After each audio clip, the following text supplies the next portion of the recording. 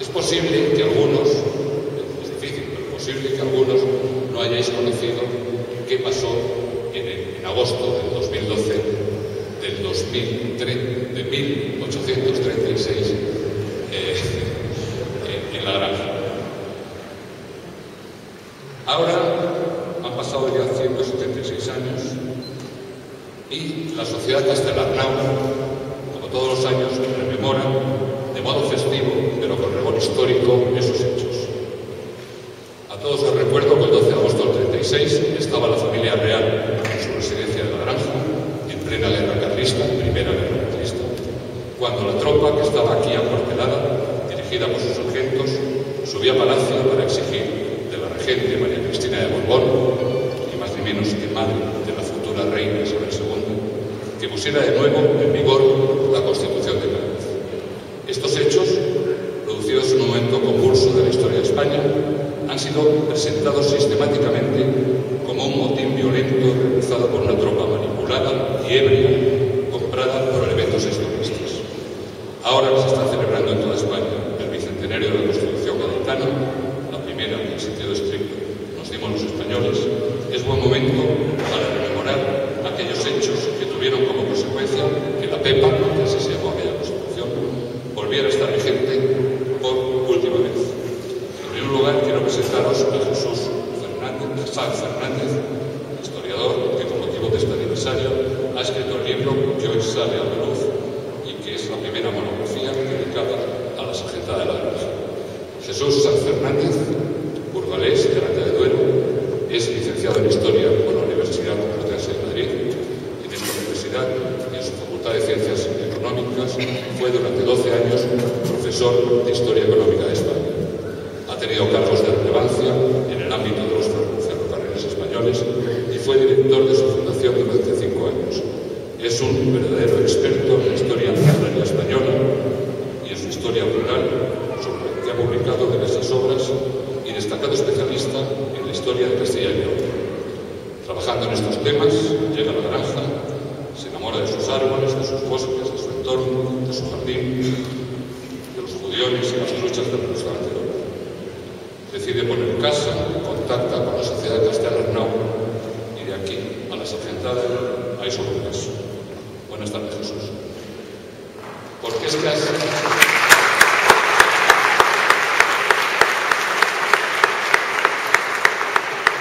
que ha dedicado dos años de su vida para preparar este libro. No es mucho.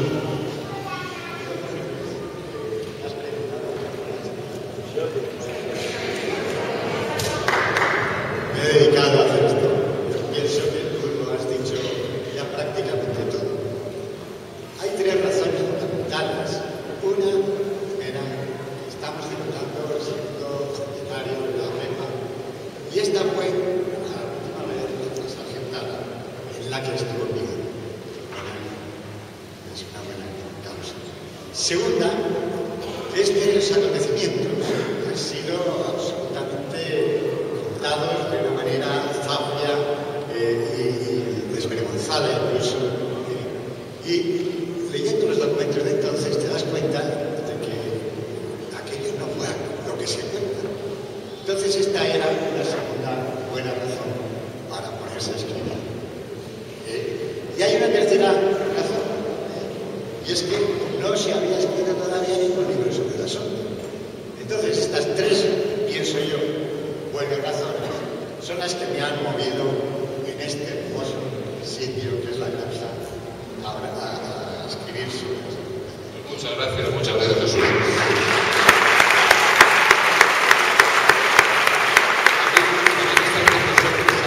Algo escondido por ahí. Juan Carlos Monterrubio, editor de este libro. Editar un libro, un libro sobre este tema tiene sus memorias. Juan Carlos Monterrubio no ha querido subir aquí porque le da un poco de vergüenza. Pero es, es el fundador y el responsable de la librería Ícaro, la que está en la calle de. Toda su familia está implicada en la buena marcha de esta librería y cualquier libro o publicación sobre este pueblo se pone en contra.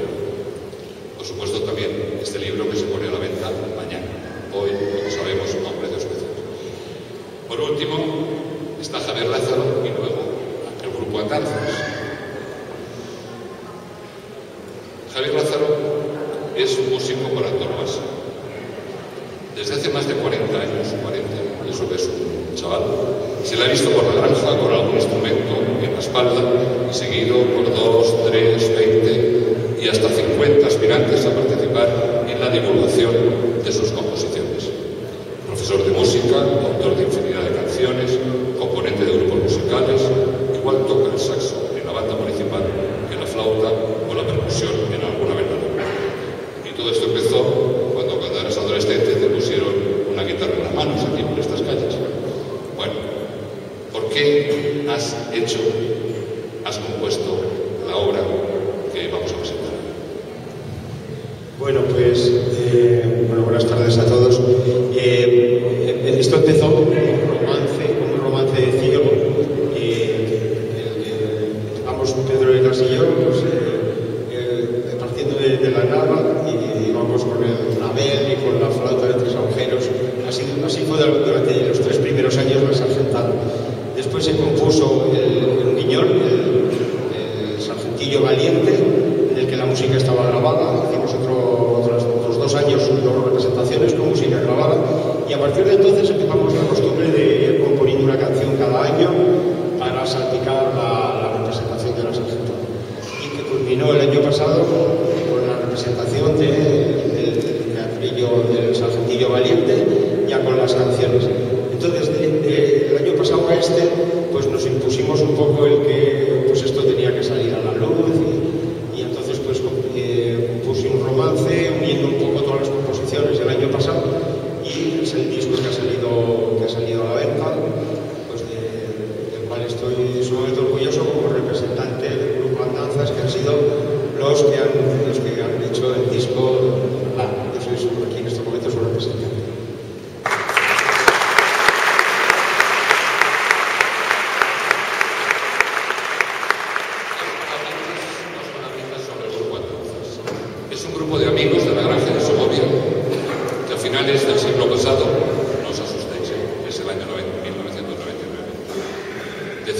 su afición a la música autónoma en serio.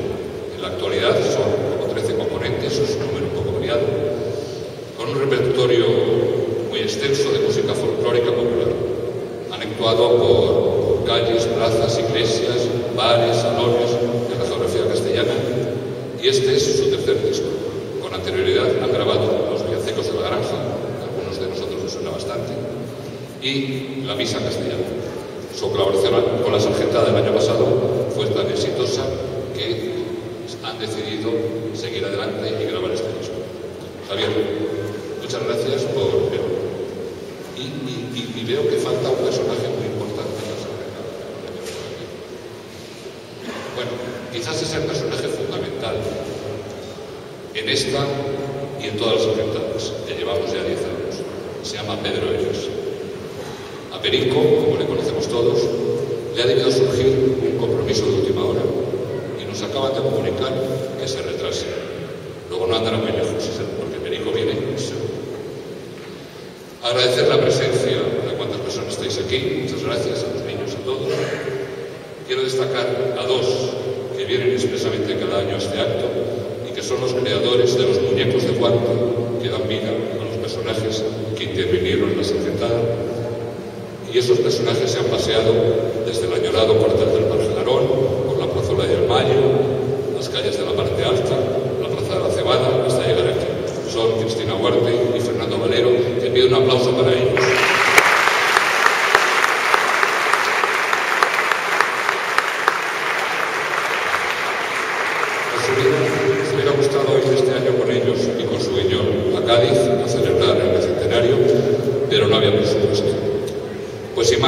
agradeciendo a la Fundación Nacional del Vidrio, al Ayuntamiento del Real Sitio, muchas gracias José Luis que están por ahí, que cumplís todos los años, a la Galería Artesonado, pues invito al grupo de danzas a que suban a la estrada.